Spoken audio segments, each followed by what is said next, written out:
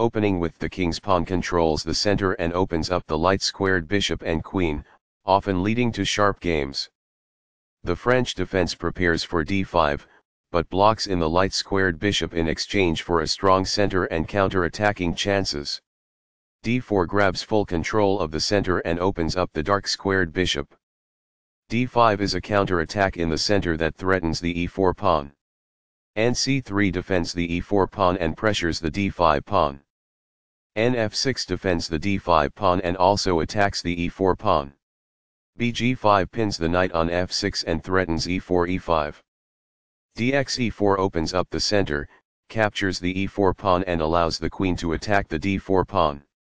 nx e4 recaptures a pawn, places the knight in the center and attacks the pinned knight on f6.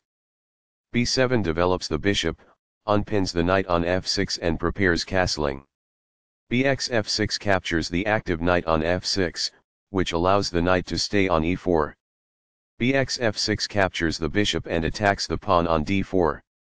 nf3 develops the knight toward the center, supports the d4 pawn and controls the e5 square. This activates a knight by developing it off of its starting square. This develops a queen off its starting square, getting it into the action. Castling gets the king to a safer square, out of the center of the board, while also developing a rook. Castling kingside tends to be safer because the king is further from the center. Castling develops a rook, while also getting the king to safety.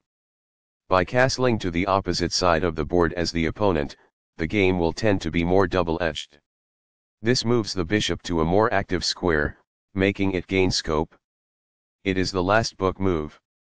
This connects the rooks, which helps them coordinate together in the future. It is excellent. This threatens to kick a bishop. It is an inaccuracy. This stops the opponent from being able to kick a bishop. It is best. This is the strongest option. It is best. Only one move worked there, and this wasn't it? It is a mistake. This threatens to kick a bishop. It is excellent. That's not a mistake, but it's not the best move either. It is good. This activates a queen by developing it off of its starting square. It is excellent.